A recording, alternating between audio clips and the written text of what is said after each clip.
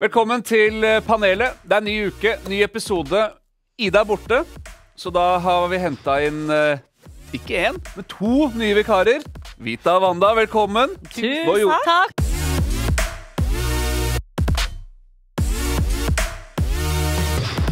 Nå tok jeg feil vei. Det er Ja. Vita og Wanda. Yep, Ja. Tenker dere på det?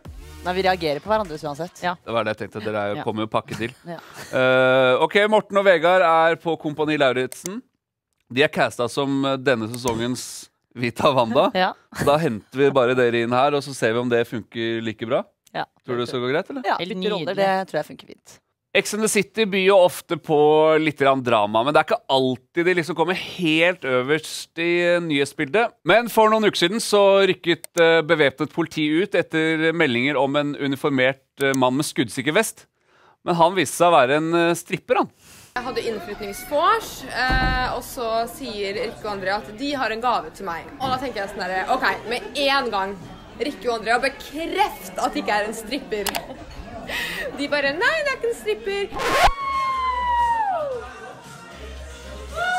Midt i da dette strippeshowet så kommer roomien til meg og sier du, det er masse politimenn nede i gangen. Det var bevæpna politi som ombringa meg ganske fort. Det som var greia, var at det kom mange politimenn pga. denne stripperen som kom til mitt innflytningsvors. Og da er det noen som har oppdaga meg og vært litt bekymra.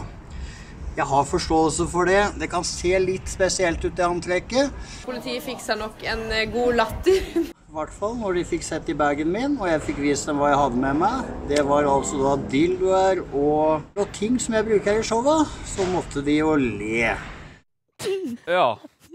Ja, Det er jo ikke noe sjokk at det her var Ex on the Beach-deltakere. Først og fremst det er jo selvfølgelig at det er de det skjer med. Ja, det er jo enten, Hvorfor det? Det er, enten, eller- det er de som fester sånn hardt som det her. ikke sant? Det er jo de som holder på sånn her og bestiller stripper under korona og Er det digg å ha strippere hjemme, liksom? Men jeg, jeg, det jeg reagerer på, er at han om masse dildoer. Ja, det, Så er det til helt han, eller til de han stripper for? Han på de. Tror du det? Men er det normalt? Er det så sjukt, Er liksom? ikke, jeg trodde stripping bare var dans, kle av seg litt, og så ha det. Ja. Det er stripping, og, men dildoer og inn i eh, gjestene er jo Det er nok mye vi ikke vet der. Det er sexshow. Ja, det, jeg tror det er bare gøy at han vet. står frem da, og bare viser hvem han egentlig er. Ja, han var jo Han- virka som en uh, Som en uh, Snedig kar! Det her er jo hysterisk. Ja, har dere, har, dere hatt, har dere vært med på strippshow? Nei. Ikke Aldri. hatt hjemme? Al- Nei. Hæ? Aldri. Nei, faktisk Ikke vært på strippeklubb? Aldri Nei. med store bokstaver. Fordi Har du ikke lyst? Anledningen har ikke kommet. Vi har ikke noen venner som spanderer sånn her på oss. Da må dere bli med på med min vennegjeng. Nå er jo endelig den nye casten til den nye sesongen av Kompani Lauritzen ute. Og vi har jo da spurt de nye deltakerne om hvordan de har det til nå. Det er mye grininger, det er mye sammenbrudd og litt folk besvimer som fluer. Jeg hadde jo sammenbrudd første dagen. Hvor jeg, hvor jeg lå bak og grein liksom bak et bygg på bakken og bare Folk besvimer i hytt og pine. Det var en del grining i går òg. Jeg tror jeg hadde et lite øyeblikk hvor jeg holdt på Hvor jeg fikk en, fikk en smil. Da kom tårene. Det er en kamp med seg selv hele tida for å ikke gi opp.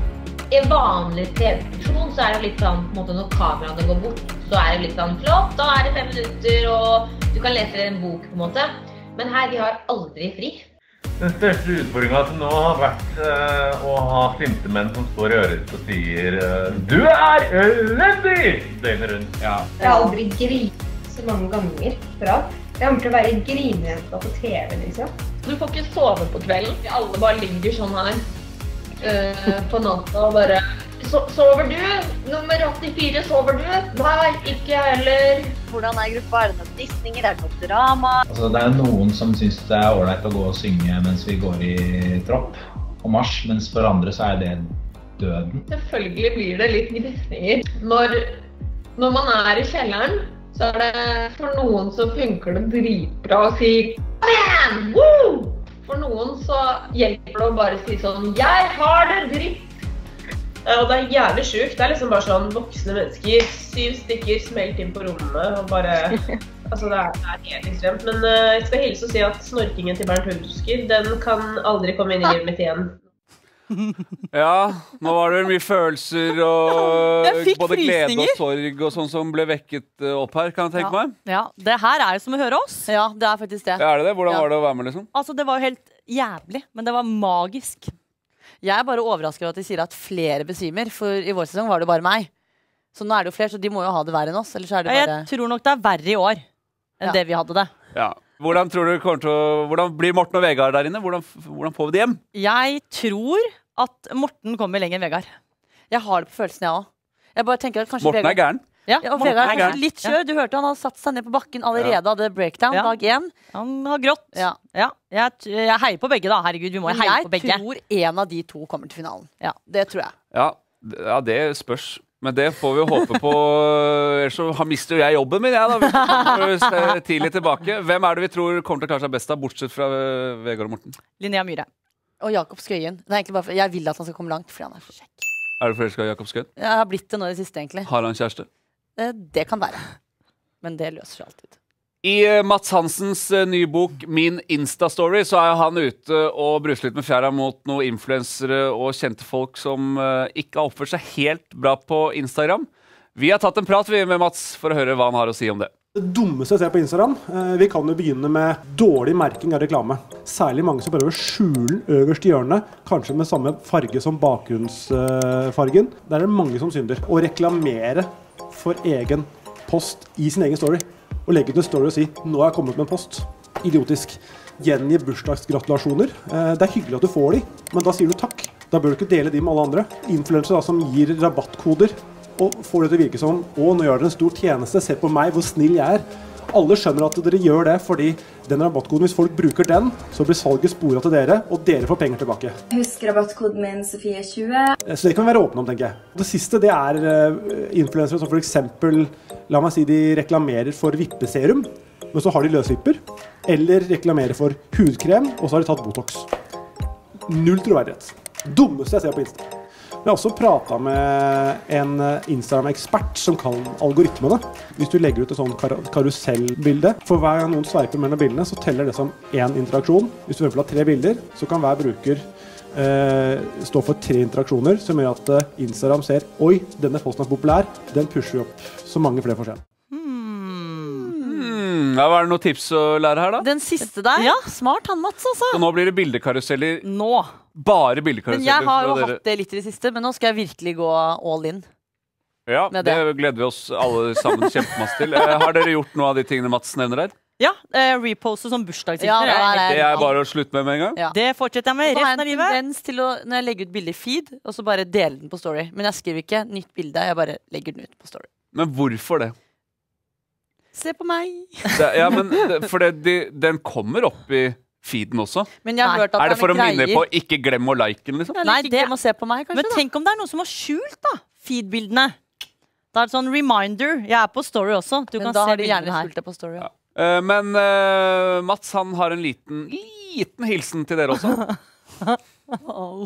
Vita Wanda, vi har hatt våre feider, vi. Dere kunne gjerne stått i boka, men jeg skåna dere. Uh, Jeg har jo kritisert dere for å photoshoppe dere tynnere eh, ved enkelte anledninger. Dere lovte at dere ikke skulle gjøre det igjen, så jeg satser på at dere holdt det. Eller? Uansett, jeg har fått et mye bedre inntrykk av dere. Det mener jeg. Dere er kule. Og så vet dere til slutt at jeg syns jo en av dere er dritflink, mens den andre er en skikkelig gratispassasjer. Og dere veit selv hvem jeg snakker om. Skal vi begynne å krangle om hvem? hvem, hvem er hvem? Det han ikke vet, er at vi er jo én, så vi tar begge deler og deler på det, vi. Jeg ble egentlig litt usikker, faktisk. Ja. For, altså, det, du kan godt være den flinke, liksom, men jeg er født først. Så, så. Ja, jeg tror ikke Hva tenker du, da? Hvem er det du ville gitt hva til? Det tror jeg vi bare hvis vi har fortsatt, Det er fortsatt litt tid igjen av programmet, så jeg tror vi bare lar den uh, ligge med en Ja. gang. Uh, men hva er det verste dere ser på Instagram? Reklamen. Og det var noen av de han tok frem der som var jeg Ja, hva, å reklamere for reklame, eller å skjule? Skjule den øverste hjørnet hvor du ikke ser noen ting. Nei, det- Har dere aldri gjort det selv? Nei. Ja, men jeg har vært, noen ganger så har jeg vært dårlig på merket. Det skal jeg si. Altså, Ja. det skal sies, men ikke sånn at jeg gjemmer det bak navnet Nei, mitt. da Altså, har kan du spare- Nei, ja. Men det er én ting som er det verste jeg ser, og det er sånn Verdens eh, fineste tapet! Så er det bare en svær rumpe i monitor. Da er det ikke tapeten som er fokuset. Det er, det er den rumpa. Det ser man mye av. Så det gjør ikke dere heller? Nei, jeg, Aldri gjort det? Jeg har, jo, jeg Du gjorde har det. I 2016 så hadde jeg, satt jeg på en badesvane. Veldig gøy. Så skrev jeg sånn 'Badesvanen har fått vipper', men da var det rumpa som var i fokus. Det er Ja. fire år siden. da Jeg er ikke der lenger nå. Nei. Men jeg har gjort det. Men jeg, Da er det et nytt og bedre menneske etter Kompani Lauritz. ja. Yes. Den siste tiden har vi sett litt gnisninger oppstå mellom to av deltakerne i Paradise Hotel. Vi tar den på nytt.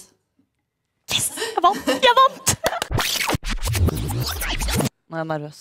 Er det? Du tar den på nytt hvis du ikke Da- blir fornøyd, da. Det var one take wonder her, så nå, får vi, ja, nå, nå nei, kommer vi til å finne, Mats nå kommer vi til å finne ut hvem som er gratissponsor, og hvem som er flink. Det er ikke noe no pressure. Den siste tiden har vi sett det oppstå gnister mellom to av deltakerne i Paradise Hotel. Vi har tatt en prat med Turtellune, Amalie og Mathias, og de kom med noen avsløringer. Amalie Paulsen.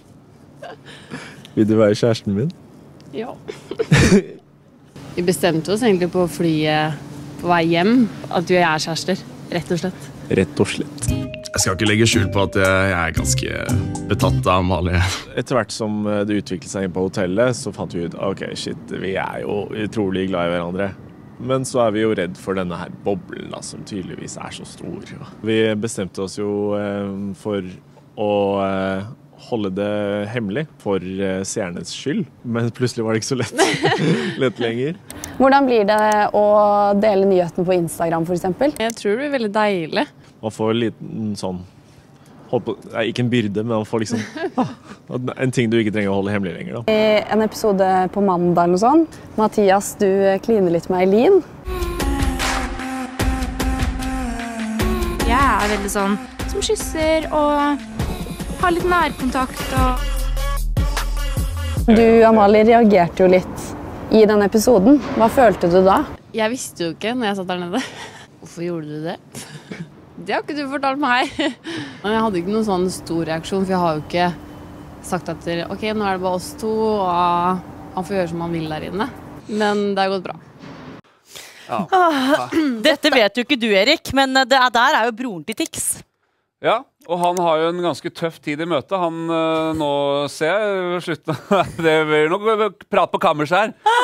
Jeg bare syns det er litt interessant at både han og Tix fant kjærligheten på Paradise. Er ikke det litt fascinerende? Han gjorde det, han òg? Ja, ja. Jeg tror Tix er sammen Ja, hun Tix har jo skrevet kjærlighetssanger om Paradise. Ja, ja, ja. Det jeg føler mangler i år, da, er jo Pandoras eske. Juice. At folk griller hverandre og kaster ut kommentarer. Vil jeg, ha, jeg vil ha mer ligging. Altså, Ja, er, det, er det ikke noe knulling? Nei, men det er parene som ligger, og det liker jeg ikke. Det må være litt sånn intriger. At Det- motsatte par ligger med hverandre. Ja, altså Nå er konseptet blandet med Love Island. Det er masse par, par her inne. Ja. Kjærester. Bygge relasjoner. Det er det litt ikke. Vi må ha folk som hater og krangler og Glass slår knuses og, ja, og gråter. Ja. Ja. ja, vi må ha mer drama.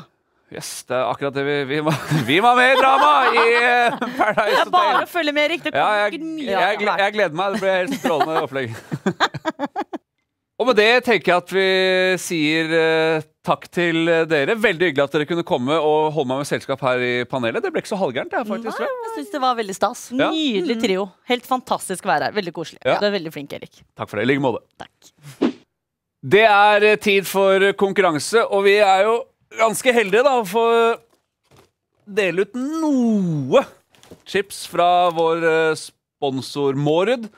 Eh, I tillegg så er alle som er med i konkurransen med trekningen om denne elsparkesykkelen, og den er ikke kjedelig, for å si det sånn. Forrige ukes uh, vinnere som får en eske med chips hver, det var Eivind, Ida, Vinusan og Ingrid. Dere blir uh, kontaktet på mail. Og her kommer denne ukens rebus. Ser du hvilken sang dette er? Send inn svaret ditt til hh.vg.no for å bli med. Lykke til! Det var alt for i dag. Tusen takk for at du så på panelet. Vi ses eh, neste uke. Eller gjør vi? Ses vi neste uke? Ja, vi gjør Ja.